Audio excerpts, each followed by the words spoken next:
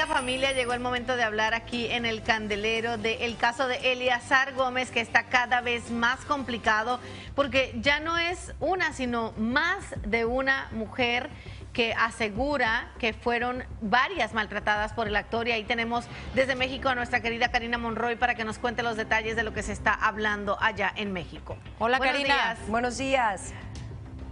Hola, muy buenos días. Pues es algo que en realidad se ha vuelto un boom en estos días, pero en los años pasados, en diferentes ocasiones y por diferentes mujeres, nosotros ya nos habíamos enterado de que Eleazar Gómez tenía una conducta agresiva, hasta violenta con sus parejas. Ahora que su última novia, Stephanie Valenzuela, decidió denunciarla, muchas tomaron el valor de unirse a esta denuncia. Vamos a ver todo lo que está sucediendo en el caso de este actor.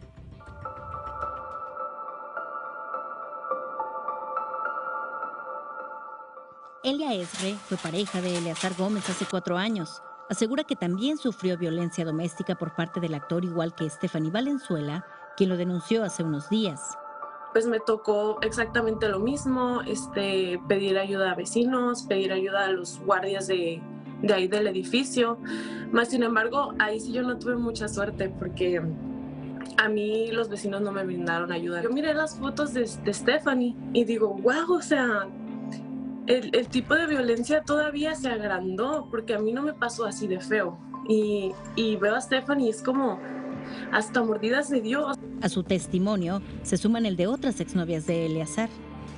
Ya como que me quiso levantar la voz y como era algo tan tonto, o sea, yo sí como que de, una le bajé así como de, oye, oye, oye, no, no, no, no, estés gritando, o sea, ¿qué, te pasa? Yo me solidarizo con todas ellas. La verdad es que sé que es algo muy difícil, sé que es algo que, que las puede estar comiendo por dentro, porque aparte no es solamente decir lo que te pasó, es exponerte a críticas. Aquí ya que no es tanto. Ya mucha gente sabe lo que pasó al final de mi relación con Eleazar hace tres años y hubo quienes no me creyeron, hubo quienes pensaron que solamente quería fama o que estaba queriendo llamar la atención.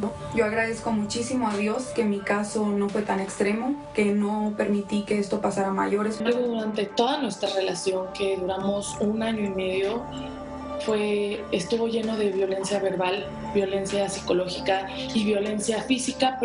y sí, en efecto, yo ya estoy trabajando con mis abogados, estamos haciendo la denuncia y en estos días esperamos ya poder meterla para que se vincule también al proceso legal que está haciendo Tefi y así crear un antecedente de violencia por parte de Eleazar. Eleazar Gómez, de 34 años, está preso en el reclusorio norte de la Ciudad de México. Su abogado opinó de las implicaciones legales que traerían los anteriores señalamientos de las exparejas del actor. Nunca hubo una, una denuncia. O sea, todo quedó en este, pleitos normales de, de noviazgos, ¿no? Puede ser perjudicial. El delito es por querella y tiene una prescripción y si están en tiempo, ah, lo que tiene ahorita es este, sobre Stephanie, no nadie más. El litigante reconoce que luchará para que su cliente no alcance la pena de uno a seis años que marca la ley para el delito de violencia doméstica. Eleazar sabe que podría perder definitivamente su libertad. Un poquito más tranquilo, espantado, pero ahí va. Hay veces que uno se, no sabe lo que hace, pero pues este, yo creo que ya está más consciente. No hay ningún intento de homicidio, en ningún momento hubo intento de homicidio. Por lo pronto, la televisora para la que trabaja Eleazar busca ya su reemplazo en un melodrama. Una marca de ropa que lo patrocinaba le retiró ya su apoyo. Zoraida Gómez, hermana del actor, solo ha publicado esta imagen en sus redes. Dana Paola, otra de sus exnovias, no se ha pronunciado al respecto a pesar de que hace años, cuando eran pareja, se publicó un video donde él la maltrataba verbalmente. Figuras como Gloria Trevi se están sumando a la protesta contra él. O sea, golpear a una mujer y morderla en la cara no se consideran lesiones graves. O sea, ¿hasta dónde tenemos que aguantar las mujeres? Ayer por la noche, Joe Bonilla, quien lo representaba artísticamente, también retiró eh, su apoyo a, a Eleazar Gómez, aseguró que él ya no pertenece a su agencia. El abogado dice, no pasó a un plano legal todas las agresiones de estas mujeres. Solamente quedó en pleitos normales de noviazgo. Ofendidísima. la manera en la que se normaliza. Sí. De verdad.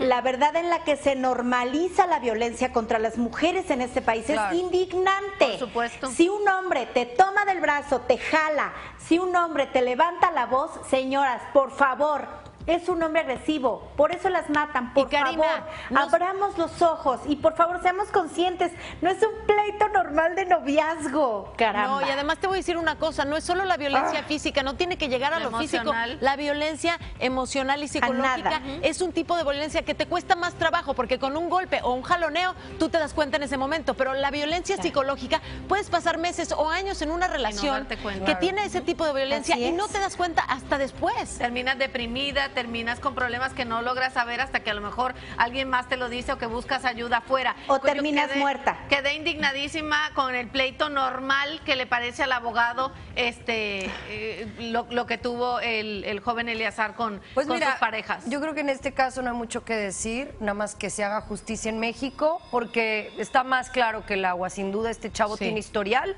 y tiene pruebas en su contra al final del día. Pero sé que regresamos contigo, Cari, más adelante de otro tema completamente diferente.